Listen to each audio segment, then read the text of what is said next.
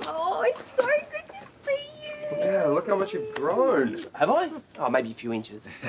Oh, Nice to see the dad jokes have started already. he never stops. hey, you love him. Well, it's great to finally meet you both.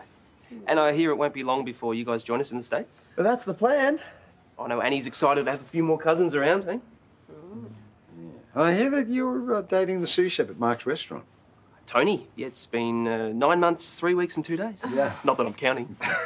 Uh, you've come a long way, Freckles. I'm just glad you're happy. Yeah, it's uh, it's crazy how much my life has changed. Manhattan really agrees with me. Well, you're going to have to show us the lay of the land. Yes, yes. Show us where to live. I want to know where all the best gyms are. Absolutely. What do you like? I love Central Park. Really? Yeah. We'll go. Yeah, to Can I have everyone's attention? Thank you. Uh, before we begin brunch, I just wanted to say a few words. Here we go. This is a real moment. All of us together. And I'm sure we'll have many more when we get to New York. Chris and Annie, I can't wait to get to know you both better. This is going to be a great new start for our family. And Leo, you and Abby better come visit us, okay? Yeah, nah.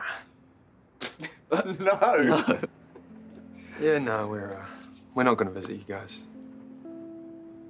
Because we're going to move over as well. Dad, you get your wish. We're all coming to New York. Hey. Annie, this is your Uncle Glenn and your Auntie Terese. Hi. Oh, you must be Chris. G'day. How are you? And we don't need an introduction. Hi, how are you? Oh, I'm really good. How are you? Yeah, couldn't be better. Congratulations on the business. Oh, thank you. Yes, Glenn and I are very excited, aren't we? Let's get a family photo. Chris, would you mind? Yeah, of course. Come on, everyone. Quick, bunch up, bunch What should we say, Annie? Lassiter's. Uh, one, two, three. Lassiter's. Now he has no excuse to rub my feet 24 7. Well, okay, but uh, it is really great to meet you all. Oh, hey, before things get too messy, uh, I promised Levi that I would record your entry for the history book.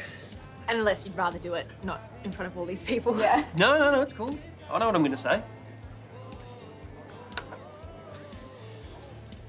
My time on the street was learning to accept who I am, which wasn't easy, especially when I started to fall for my best mate. You and me became mates. And I started to, s- I started to question stuff. You've got a thing for me. I'm not gay, okay? Coming out can be scary at the best of times, but when my own family didn't support me, it was my friends and my neighbours who did. I know the feeling. So do I. And I'm still living the best mate stuff. We're talking about Ellie, right? The one and only.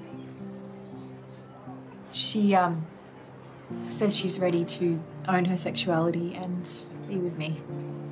Hey, every relationship is a gamble.